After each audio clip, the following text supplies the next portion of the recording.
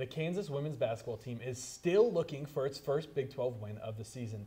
They're falling to rival Kansas State in Manhattan on Saturday night by a score of 81 to 67.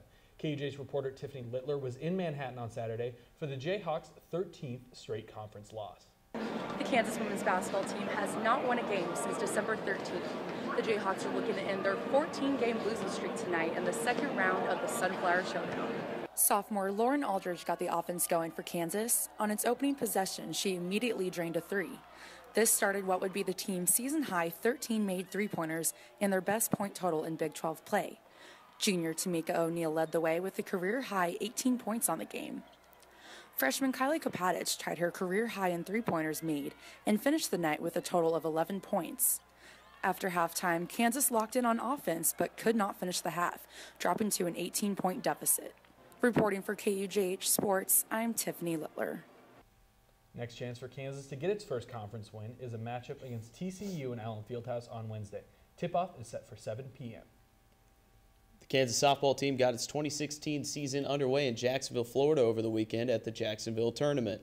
The Jayhawks began the tournament on Friday playing two games. Kansas lost a close one to NC State by a score of 3 to 1 to open the tournament before bouncing back with a 9-0 victory of host Jacksonville. Kansas would split another pair of games on Saturday, beating Coastal Carolina 5 to 1 before falling to UNC Greensboro 6 to 3.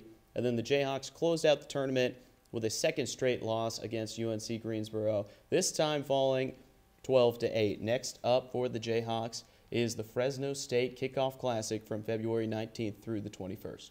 And the Kansas track and field team was in action at both the Tyson Invitational and ISU Classic over the weekend, rounding out both meets with impressive performances. Victories from the men's 4x400 meter relay, and sophomore Nikolai Sieben in the shot put headlined the action from the Tyson Invitational.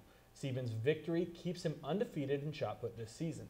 At the ISU Classic, junior Strymar Livingston and sophomore Sharon Lokedi headlined for the Jayhawks. Livingston notched one of the fastest indoor 800 meter times in school history for the second straight week, while Lokedi shattered the six-year-old 5,000 meter school record by over 30 seconds. The Jayhawks have the week off before heading back to Ames, Iowa for the Big 12 Indoor Championships on February 26th and 27th. And we're going to take a quick break, but coming next on the Jayhawk Sports Report, we'll show you everything you needed to see from the NBA All-Star Weekend, including game highlights, three-point contest, and a dunk contest that you have to see to believe. Don't you touch that dial. We will be right back.